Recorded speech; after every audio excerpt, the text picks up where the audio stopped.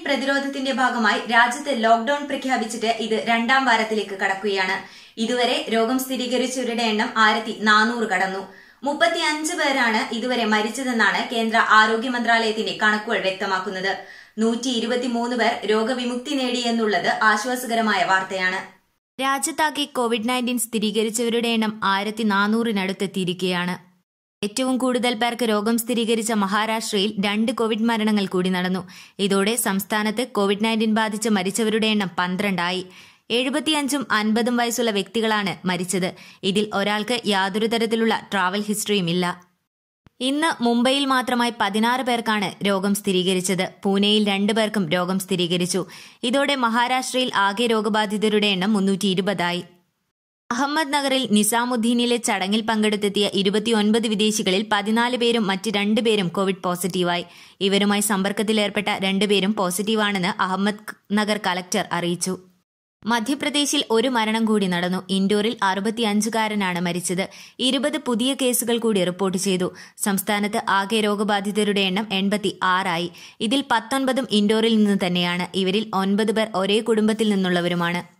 ഗുജറാത്തിലെ അഹമ്മദാബാദിൽ ഇന്ന് എട്ട് പേർക്ക് കൂടി രോഗം സ്ഥിരീകരിച്ചു. ബീഹാറിൽ ഇരുപത്തിമൂന്ന് പേർക്കാണ് പുതുതായി രോഗം സ്ഥിരീകരിച്ചത്. മാർച്ച് പതിനെട്ടിന് ശേഷം വിദേശത്ത് നിന്നെത്തിയ എല്ലാവരെയും സ്രവ പരിശോധന നടത്തിയിരുന്നു. ഇക്കൂട്ടത്തിൽ കോവിഡ് ലക്ഷണങ്ങൾ ഇല്ലാത്തവർക്ക് കൂടിയും രോഗം സ്ഥിരീകരിച്ചിട്ടുണ്ട്. ആന്ധ്രാപ്രദേശിൽ നാൽപ്പത്തിമൂന്ന് പേർക്ക് കൂടിയാണ് രോഗം സ്ഥിരീകരിച്ചത്.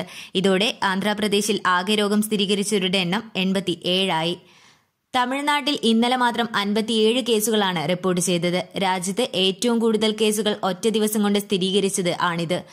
ഇതിൽ അൻപത് പേരും ഡൽഹി നിസാമുദ്ദീൻ പള്ളിയിലെ മതചടങ്ങിൽ പങ്കെടുത്തവരാണ്.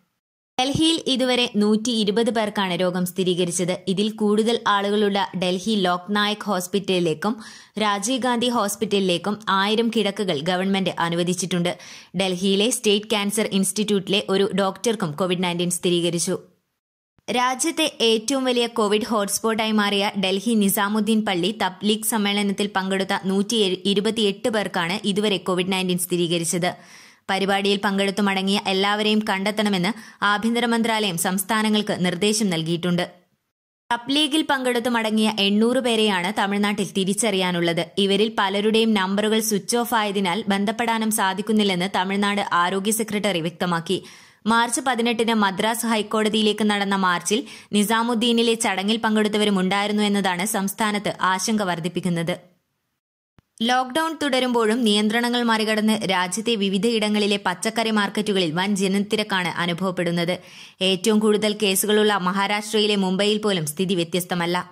രാജ്യത്തെ ആദ്യ മരണം നടന്ന കൽബുർഗിയിലെ പച്ചക്കറി മാർക്കറ്റിൽ വൻ ജനത്തിരക്കായിരുന്നു.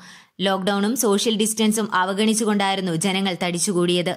ഇതുവരെ സംസ്ഥാനത്ത് നൂറ്റിയൊന്ന് പോസിറ്റീവ് കേസുകളാണ് ഉണ്ടായത്. മൂന്ന് മരണങ്ങൾ നടക്കുകയും ചെയ്തു. ഇതിനിടെ ഇന്ത്യയിൽ കുടുങ്ങിയ മലേഷ്യൻ സ്വദേശികളെ നാട്ടിലെത്തിക്കാൻ മലേഷ്യ പ്രത്യേക വിമാന സർവീസ് ഏർപ്പെടുത്തി. അന്താരാഷ്ട്ര വിമാന സർവീസ് ഇന്ത്യ നിർത്തിവെച്ചതോടെയാണിത്. എന്നാൽ ഇതിനു സമാനമായി നിരവധി ഇന്ത്യക്കാർ മലേഷ്യയിലും കുടുങ്ങിക്കിടക്കുന്നുണ്ട്. ഈ വിമാനത്തിൽ നാട്ടിലേക്ക് വരാൻ അനുമതി നൽകണമെന്ന് കേന്ദ്രത്തോട് ഇവർ ആവശ്യപ്പെട്ടിരിക്കുകയാണ്. ചെന്നൈ തിരുച്ചിറപ്പള്ളി മധുര എന്നിവിടങ്ങളിലായി കുട്ടികളടക്കം മുന്നൂറിലധികം മലേഷ്യൻ സ്വദേശികളാണുള്ളത്. ഇവരെ പ്രത്യേക വിമാനത്തിൽ ഇന്നും നാളെയും ഏപ്രിൽ നാലിനുമായാണ് മലേഷ്യയിലെത്തിക്കുക. ഇതിനിടെ കോവിഡ് പടരാൻ കാരണം Chinese president Xi Jinping ആണെന്ന പരാതിയുമായി യു പി പോലീസിനെ സമീപിച്ചിരിക്കുകയാണ് ലഖിംപൂർ നിവാസികൾ. നാൽപ്പത് പേരാണ് പരാതിയുമായി എത്തിയത്. നേപ്പാളിൽ നിന്നു വന്ന നിരവധി കുടിയേറ്റക്കാരും പരാതി നൽകിയ കൂട്ടത്തിലുണ്ട്. ലോക്ഡൌണിൽ കുടുങ്ങിയ ജനങ്ങൾക്കായി തന്റെ യോഗ വീഡിയോ പങ്കുവച്ച് രംഗത്തെത്തിയിരുന്നു നമ്മുടെ പ്രധാനമന്ത്രി നരേന്ദ്രമോദി. ഇപ്പോൾ ഇതിന് നന്ദി പറഞ്ഞ് എത്തിയിരിക്കുകയാണ് ഇവാൻ ട്രംപ്